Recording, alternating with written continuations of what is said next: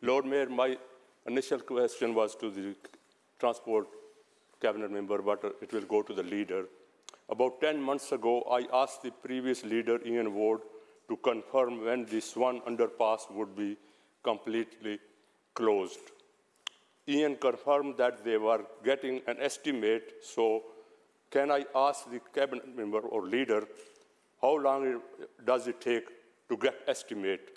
Does it take years, months, and is it fault of conservative and uh, liberal de democratic coalition? Thank you. I'll lead you to reply.